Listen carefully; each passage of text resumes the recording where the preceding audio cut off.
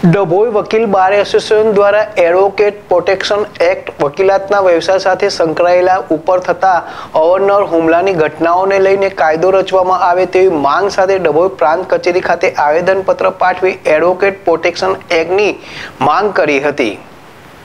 ડભોઈ સહિત સમગ્ર રાજ્યમાં વકીલના વ્યવસાય સાથે સંકળાયેલા વકીલ ઉપર થતા હુમલાઓ નાથવા સરકારમાં કાયદો ઘડવામાં આવે તેવી માંગ સાથે ડભોઈ વકીલ બાર એસોસિએશનના ઉપક્રમે ડભોઈ પ્રાંત કચેરી સેવા સદન ખાતે પ્રમુખ વકીલ આરબી ભટ્ટની આગેવાનીમાં આવેદનપત્ર પાઠવવામાં આવ્યું.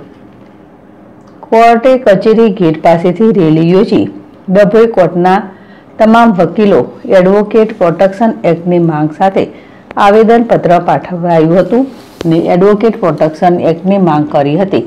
આવેદનપત્ર પાઠવવા પ્રમુખ સાથે મંત્રી, વકીલ, એન જે બારોટ, વકીલ લતીશભાઈ પટેલ, વકીલ આરીફભાઈ મકરાણી, વકીલ હર્ષિલ જોશી, વકીલ પદનાલાલ સહિત મોટી સંખ્યામાં બાર એસોસિએશનના વકીલો જોડાયા હતા. વિજય બારોટ છે ડેસ્ટેરી ડભોઈ. અમારા એસોસિએશનના તમામ એડવોકેટ મળીને નાયબ કલેક્ટર શ્રી ડભોઈને એડવોકેટ પ્રોટેક્શન એક્ટ બાબતનું આવેદનપત્ર આપેલું છે અને ગુજરાતના તમામ વકીલોની માંગ છે.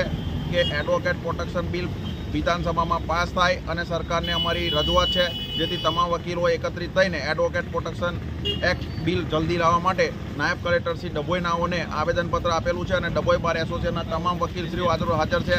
સિંધી સાહેબ છે, જે કે પટેલ સાહેબ છે, તેમજ મંત્રી સાહેબ નિલેશભાઈ બારોટ છે અને ડીઆર શાહ સાહેબ છે. હું એડવોકેટ આરિફ મકરાણી.